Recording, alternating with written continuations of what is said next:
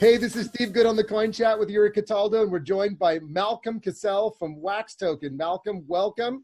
It's a real pleasure. We've been speaking for, well, for quite a while on Telegram, so it's great to have you here. Yeah, thanks for having me. It's great to meet you guys. Really cool. Great, welcome. So, look, I mean, I followed you guys from the beginning of the ICO, and I, I, you guys had like the media, you know, you were like the media animals. You had, you know, article after article going and kept people informed, and it was really cool. And it was all announcement based as well, which was a little different. But going from there to where you are now, I think, you know, this is just a quick kind of intro episode for people who haven't been following Wax closely. So, Yeah. just start by giving us a little bit of a, a, a quick rundown of from, you know, pre ICO to where you guys are now, just a kind of a, an update as to where you guys have gotten to. Yeah, sure. That was literally two years ago. Uh, a year and a half since the ICO completed, two years since we announced, hey, this is what we're going to do with Wax. Uh, a lot's happened. So in that year and a half, you know, it was the largest ICO of Q4 2017, and the ICO window closed after that, as you as you probably Certainly recall. did, Yeah. Oh yeah. we have been heads down building. So since then, we launched the beta test net of our chain. We launched multiple dApps on it. Uh, we have launched lots of new products on those, uh, you know, within those dApps. And we're now doing over a million dollars of merchandise a day on the test net, about half a million transactions. So uh, it's one of the most used chains in the world by any metric. Uh, it's by far the most used chain for NFTs, in other words, like merchandise.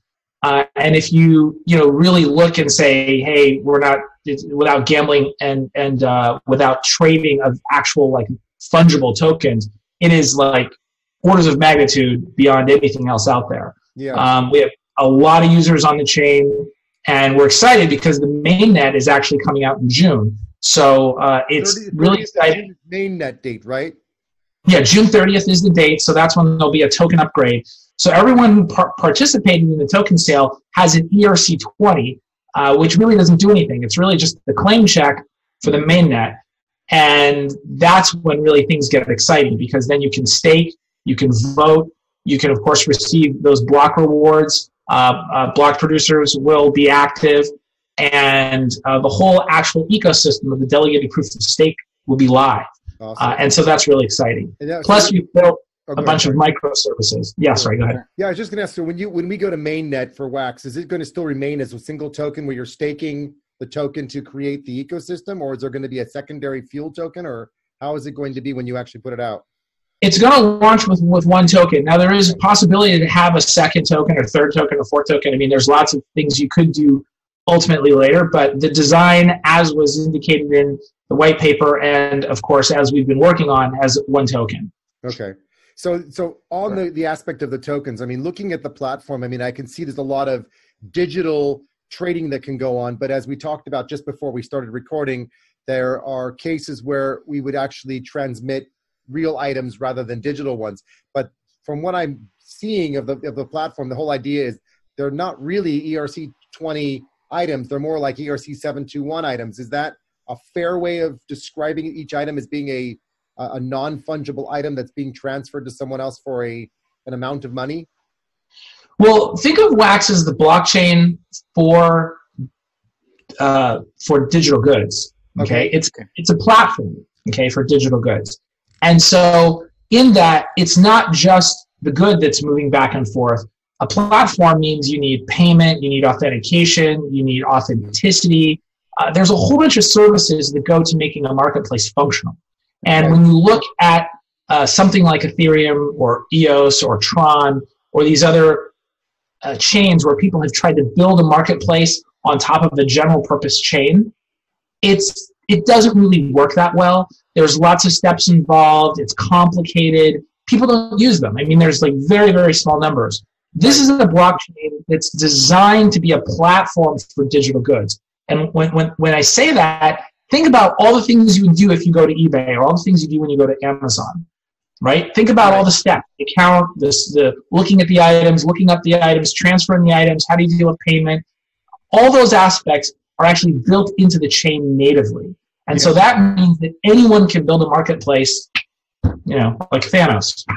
so, so, unlike being ERC seven two one, being that it's a, a wax token means that you're able to enable enabling the encapsulation of other coins because you don't care about the coin because you've got your own main net to do that. Yeah, yeah, yeah. So Wax is sort of a, a master NFT, and that it's a container that can hold anything. We've tokenized other other tokenized items. So you can, of course, trade VGO, which is a a, a tokenized skin, uh, which is a very successful DApp on our platform. And like you know, Tether has tokenized U.S. dollars. Viral, another DApp on our platform, has tokenized physical products. So you can buy like a three thousand dollar pair of sneakers and that item, that wax NFT trades back and forth dozens and dozens of times. The shoe never changes. It sits in the warehouse and you have high res 3D photos. You can look at it. You can see inside, you know, to make sure it's authentic, zoom in on the stitching, all that kind of stuff. Right. It's authenticated. But then I can trade the, the token, essentially the wax NFT back and forth. And people are doing that to the tune of a million dollars a day. Can I right. switch over wow. quickly to the the block explorer because uh, you know I you know we know what we look at when we see block explorers. Yeah, I just love yours, and I want to show people because it's so awesome. yeah, it's it's really fun because you can see the actual digital items being traded in real time, and they go. Argh! Yeah, I mean, yeah. here's on the screen. To bring it up for people because when people think of block explorers, they're thinking, you know, they're thinking about, you know, um, Bitcoin or Ethereum and tracking item. And it's like, I'm looking at this, I'm like looking at the trade activity and here's the transactions that are going on. And I'm looking at yep. this. Yep. Oh my God, this is, you know, this is so cool. And you've got bun. Yeah, those are things being unboxed. This and then what's cool? Blockchain Explorer. This is like a trade explorer. This is so cool. I love it. It is. yeah, and then you can drill down. So, like for example, if you click on the left and you go into that um, into that item, uh, you know you can now see the details of it.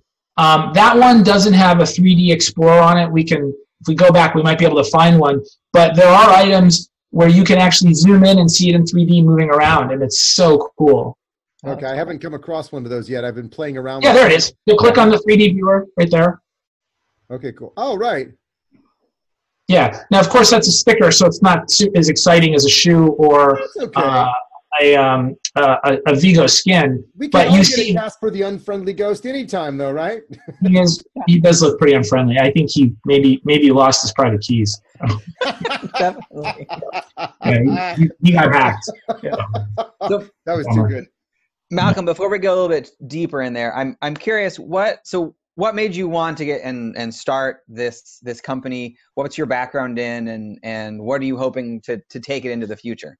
Yeah, yeah. So I actually jumped on board with a bunch of guys who really invented item trading, uh, and they had a company called Opskins, and you know they said, "Hey, look, we we need some more guys on the team," and uh, that was when sort of the ICO thing was happening. Mm-hmm. And I had just finished uh, running another company, it was a, a, big big public company, and um, we were sitting around and they were like, you know, we've had this idea for wax many, many years, but we really couldn't do it. It just wasn't time. And it, it appeared June 2017 was the time. And we saw like the plans for EOS, which meant that you could have a chain that was fast. That delegated proof of stake was like an implementation that was like, wait, that could actually work. Half second block confirmation times would get us. And you can see on the block explorer you just showed, you can see the transactions per second. That's all running on a delegated proof of stake system. Uh, the second thing was you had the token sale mechanism, which meant that there was going to be a lot of people who could support this thing. And having a lot of supporters, as you know, for something like a marketplace is fantastic. We had, you know, tens of thousands of people apply to be, you know, part of the token uh, offering. And so uh, it was like that moment. And so I, you know, we all looked around and was like, well, who's going to start writing the white paper? And of course, I drew the short straw. So, uh, well, off, off and then of course, you know, it's a, it's a team effort. Everybody jumped in, but somebody had to kind of like be responsible and make it happen. And you know, about two months later, we had a white paper. We announced what we were going to do. I hired up a team, and you know, the rest is history. Yeah. Um, and then you know, after we completed the sale, you know, we most of our team was really options oriented. And we we hired up quite a bit to uh, expand to support the Wax, you know, blockchain. So to become your own protocol and a platform for digital goods, there is a lot involved. I mean, we have 100 people on our team globally. Uh, and so it, we, we've been cranking, cranking. So all these dApps that have worked uh, fantastically, the, the, tech team has been unbelievable. It's one of the best tech teams I've ever worked with in my, in my career. Where is your team dis- distributed? Are they all in the states, or are they around the world? Or we're all over the world. We're I, we're in every every time zone that matters. Really? Uh, and, then, um, you know, the the for, for, me as a serial entrepreneur, this is like company number eight for me, and it's been this is the evolution of you know both commerce, marketplaces, uh, video games, and now of course blockchain. It brings kind of all this thing together. Uh, our, our CEO was the co-founder of Tether, you know, the first tokenized US dollars. So the idea of tokenizing something in the real world is not a new idea. It's the idea of, of it's the application to consumer products, which has just turned out to be, you know, fantastically uh, successful. People really dig it. That's really cool. God, I love it.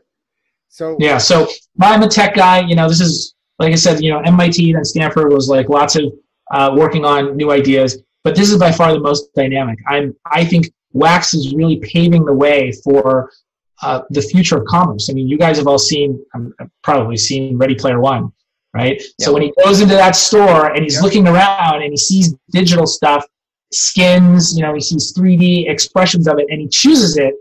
And then remember how he buys the suit and then a couple days later the suit shows up at his little hovel? Yeah. That's what we're doing already today. You buy that pair of shoes, you see it digitally, you own it, it's yours. You right click, hit redeem, gets sent to you. Oh, wow. That's, that's happening today. And of course, 3D aspects, uh, like the VGO items you saw, you can see the 3D. That's really cool. And then we, we just we just launched a beta uh, with a company called Terra Virtua. They have an AR viewer, so you can now look. You can connect your Wax account to it, and you can see your items in augmented reality. So I can see it floating in the room. Oh, that's and cool. uh, yeah, so that that's a closed beta. I think we'll have this now, like trying to touch it. exactly, exactly. So we should have an open beta uh, before mainnet. Uh, no promises, but I think that's that's that's possible, and then people will be able to use it and download it. It's on Android, and as long as you have the AR core, it's it looks amazing, which is on you know the new iPhones as well. So it looks yeah. it looks really cool. People so talking about the fact that you're going to mainnet, are there? I mean, technically speaking, are there any challenges or any things that you guys are concerned with in terms of getting it to hit the date 30th of June, or is it all pretty straightforward? Nothing is straightforward. Uh, it's, it's, it's, technology, isn't it? Yeah, blockchain. And by the way, blockchain is very hard. It just makes things so complicated. But we we've complicated it, and maybe this is this is really because our vision is so so large and vast. Because we've built all these services that fit together, and those things create a platform. So it's not just a blockchain. It's a blockchain based upon years of running marketplaces. So if you run a business and you do it at high volume, you've done over 150 million transactions on Opskin, you know exactly what you need to make it work. Yeah. Usually through lots of mistakes and trial and error. So we took that and said, okay, we're designing a blockchain that can be a platform. So that's really what's made it complicated. Yeah, to be to be perfectly honest, Steve, we've we've build all the pieces that fit together. And when you go through our blog, you'll see, wow, we have an account system, we have an all access system, we have an express trade system. Uh, of course, there's the blockchain itself, there's the marketplace. Uh, every single aspect has like all these services included in it. Yeah. That's what makes this yeah, difficult. I mean, there's no doubt the yeah. website is slick and it's really easy to navigate and use. So here, here's the, here's the question I think many people would want to know about if they're in the gaming space or they're playing, you know, Magic the Gathering or they want to trade digital items. Where do they go to get started? What's what's your recommendation for them to get started as people that want to buy or sell items? Yeah, so the easiest place is, you know, wax.io is the entry point, right, to get your account. The biggest marketplace today is opskins.com. We've designed Wax to enable other folks, thousands ultimately, to have their own opskins.com. So let's say you guys have a following, you have a million followers, and on CoinChat, you're like, hey, look, we, we've assembled a bunch of cool stuff around crypto, crypto t-shirts, uh, merch, like a beautiful piece of art, etc. We're having our own digital store. You then point people that digital store and say, hey, you can get any of the stuff you can have as a collectible, and actually you don't have to hold it. You can trade it back and forth with people. You could swap it. And of course, you can give things out as a promotional mechanism. So the way most people actually get their first touch to Opskins and, and Wax ultimately is through a YouTube or Twitch influencer because they're giving out a digital item. And then they realize, oh my gosh, this is possible. And then they end up buying stuff. And then they're like, hey, I want to trade this. I'd like to swap this or I'd like to sell it. And right, or, or they unbox something, right? So they open up a loot box and they say, oh my gosh, this is cool. And they want to trade it with somebody. Yeah. So the, the way most people acquire it is through third party sites. There's now hundreds of third party sites who do, you know, all these different kinds of games.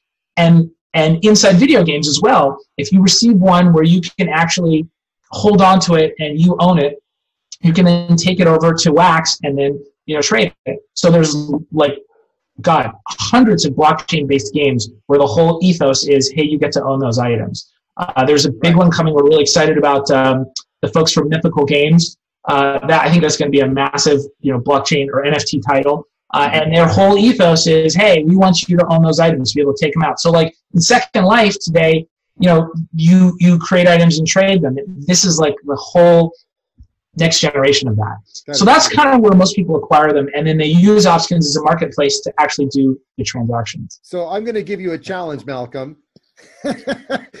Before we wrap up, because I know that you need to go. The challenge is going to be you need to help us figure out what it is that's digitally going to be given out on our show on the next episode with you, and we'll do it together to absolutely, absolutely going on. But I don't know what the digital yeah. item would be. So we're gonna. Well, you know, again, we've tokenized consumer items, so you could say, "Hey, we're going to give out a fifty dollar Amazon gift card." You know, we're going to give out, and that's essentially a wax NFT. You mm-hmm. send it to somebody with one click, and it's theirs. They own it. They have it, and they can redeem it if they want. Or they can a real, uh, a real Amazon gift card, but then we real Amazon gift card. Yeah. We sell Fortnite, you know, credits today. You can buy you, like anything you can imagine. Uh, if it's a like we did a big promotion with Fnatic, one of the biggest esports teams, and they gave away and sold a lot, um, but they gave away some and they sold the rest. Uh, sneakers, uh, hoodies, uh, keyboards, uh, physical stickers, these cool holographic stickers that, that they produce, you know, so often. items as well, because I mean, hoodies and sneakers, of course, you'd want to receive the real items, right? Mm-hmm. Absolutely, so all physical. You, just so very quickly, so how do you ver- guarantee or verify the transaction between the buyer and the seller to make sure that the item is received? So remember, the only thing that's happening between a buyer and a seller is the movement of that token. So just like you can confirm I sent you okay. an NFT or a Bitcoin, you, right. you see it, it's confirmed, it's yours. But it's unredeemed.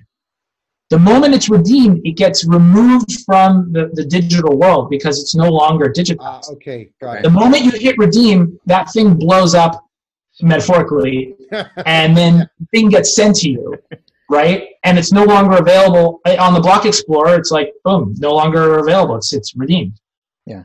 Okay, really interesting. Cool. Anything very else cool. from you, Yuri? Because really I know I, Malcolm, I, we're very conscious that we want to yeah. this limited so you can go on to your next important meeting. no, this is this has been great. Big announcements coming. Yeah, this, Good. Is, well, this has been gonna, fantastic.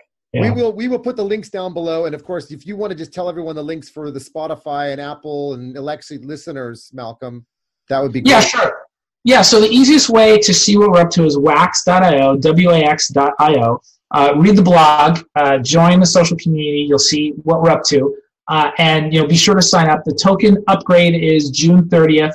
So that's a really uh, good time, like prior to that, to get involved because there's so many amazing things happening around then. Lots of giveaways, lots of prizes. So it's it's it's going to be exciting in the next you know 45, 60 days. Absolutely. Well, that's Wonderful. great. So we'll we'll we'll bring you back after mainnet's done, and you can take a breather. And if you've got any announcements to uh, to make, then we're we're all ears for the next wave of what's coming. Yeah, yeah, we would love to. Thanks, thanks so much for your time today. Well, thank you, Great. Malcolm. Thank you, Malcolm. From Wax, it's been a real pleasure having you. Um, Great thanks everybody for listening, watching. Give us a subscribe, like, and hit that bell. And we'll always be back with more content as always. To the moon. Until See you guys. Thanks. Bye bye.